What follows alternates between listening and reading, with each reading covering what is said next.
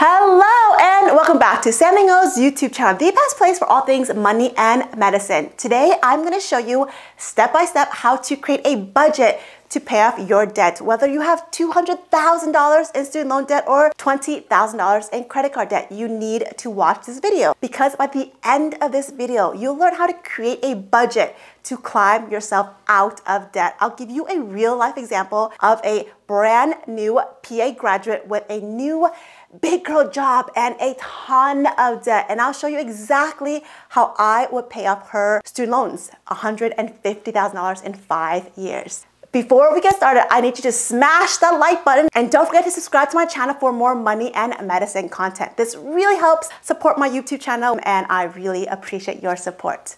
Before we get to creating a budget, let's discuss the importance of a financial plan because we all know failing to plan is planning to fail.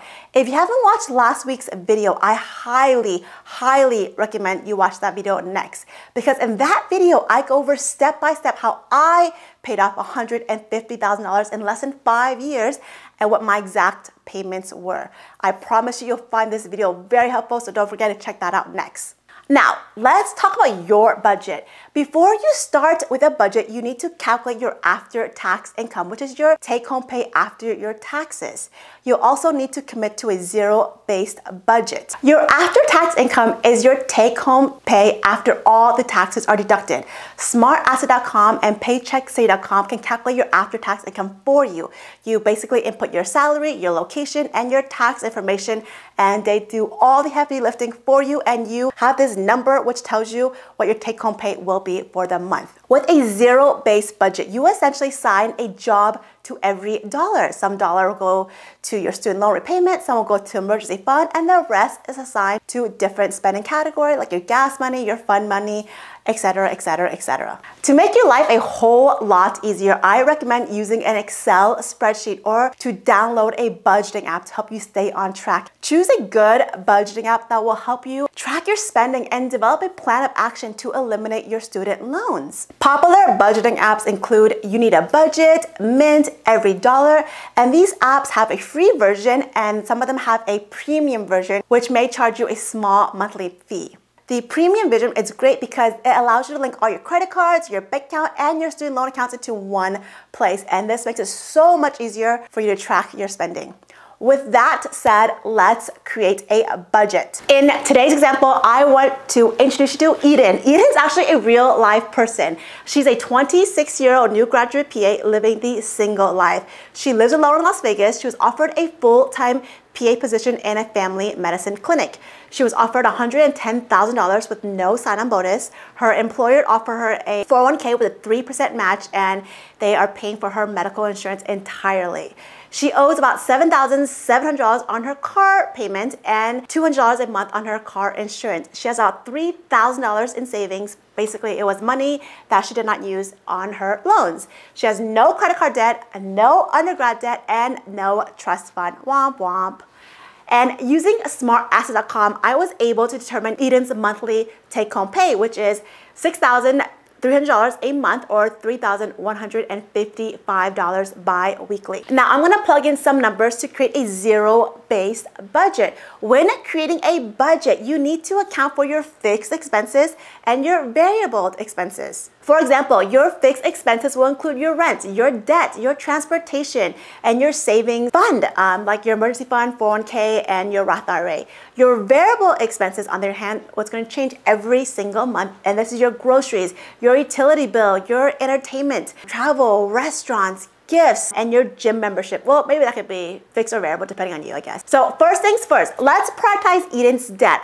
I want to get rid of her $150,000 student loan debt in five years. Using the Student Loan Hero payoff calculator, I determined that Eden has to pay off $2,970 each month for five years, assuming her average interest rate is about 7%. To pay off her debt. As you can see on the graph, I used this payoff calculator and I just plugged in all the information, the debt amount, the interest rate, and the loan duration, and it gives me this magical number of $2,970 for the next 60 months. So this number didn't come out of nowhere. It was well calculated for. If you look at this graph, you'll notice that her total loan amount is $150,000, but with all the interest rate added for five years, her total balance is roughly $178,000. So keep that in mind. You have to always account for interest, interest, and more interest because interest never goes away. Now let's get down and dirty and create our budget. In this example, I use the Every Dollar budgeting app, but honestly, you can use whatever app you want, or you can just use old school pen and paper. It doesn't have to cost you a lot of money to budget your life.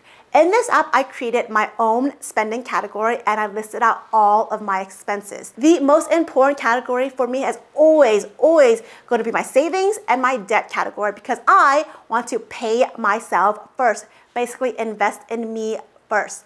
If I was Eden, I would want to one, get rid of my loan as quickly as humanly possible. And two, I want to make sure I save and invest while paying down my debt because money doesn't grow on trees, but it does grow in an investment account like an HSA, a Roth IRA, and a 401k. So let's not forget about investing, but we'll go into more detail all about that in our next video. But today, let's jump right into the debt category first. Debt. Eden has two major debt that she needs to get rid of ASAP her car loan and her student loan. Eden needs to pay $2,950 to her student loans and she needs to pay $330 on her car payment since she still owes $7,700 on that damn car. Next, we got her savings account. Remember, she already has $3,000 saved up and that's not a bad starter emergency fund.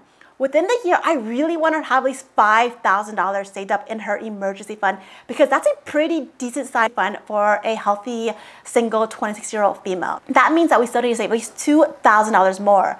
So divide that by 12 because of 12 months and you get about $166 a month but let's just round that up to an easy $200 a month for her emergency fund. She also wants to contribute to her 401k because her employer matches 3%.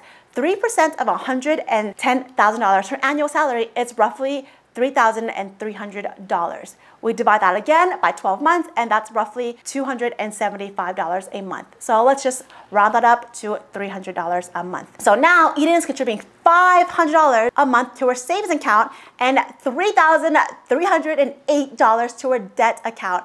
That is a lot of money, but that is how she's gonna pay off her debt. Now, at this point, I'm gonna start putting in all the other fixed expenses. Her rent, her car insurance, her mobile phone bill, her internet, her gym bill. And after all those numbers are accounted for, we now budget for her variable expenses like her groceries, her restaurant bills, her gas, her Amazon, and Target fund, you know that's always really high, and her fun money. So my favorite part is always the fun money. The fun money part is everything you want to spend your money on. For some people, it could be going and buying lattes, or you know, some people want to spend money on shopping. Other people want to save money to go on an expensive trip. Whatever it is, this fun money can also be your sinking fund, which is basically a set amount of money each month that goes into a particular event or activity. Could be saving for a bachelor party or you know for Christmas. I don't care. So after putting in all those expenses, Eden have zero-based budget, zero. So there's a job for every single dollar. Let's look at her total monthly income of $6,310. With this budget, you can see she is spending 52% of her income on paying down her debt, 52%, and 18% of that on housing, which is a lot because I mean, $1,000 a month for housing a lot. She can definitely cut this number down by getting a roommate or doing house hacking. But if she wants to live alone, that's great too. But this, this is a real budget. This is a financial plan to pay off her debt in $150,000 in five years. The easy part is creating the budget. The hard part is sticking to the budget month after month after month. It requires dedication, consistency, and discipline. This is your motivation. Motivation will go away, but discipline you have to practice. And some months will be better than other months. Some months you'll underspend and save a lot of money, like if you're in a pandemic and other months you will go over by a few dollars or even a few thousand dollars. The key is to keep working on it daily until you reach your goal.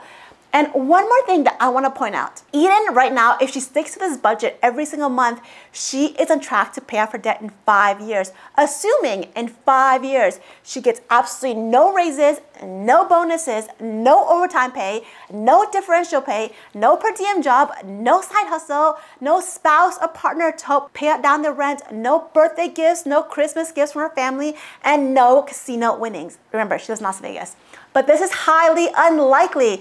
You will more than likely get some extra money for working a weekend shift or even a Christmas bonus for your boss, and you might get a huge, big, fat tax return. The key is to put that extra money into paying down your debt or to an account where you can invest that extra money. You choose. I don't care what you do, but the main thing is you have a plan for your money.